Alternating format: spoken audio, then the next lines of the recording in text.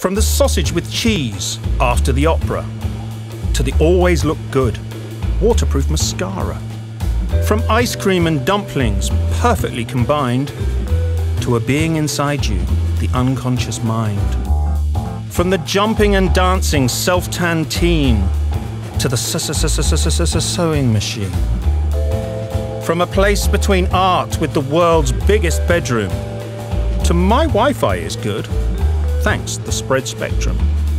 From really crispy schnitzel and the schmaltz it was dipped in to this place of preparation. You know, fitted kitchen. From many bright colours and the paintings with the boobs to the three minutes daily toothpaste in a tube. The inventions from Vienna, this original blend, it has always been there, from crazy to grand.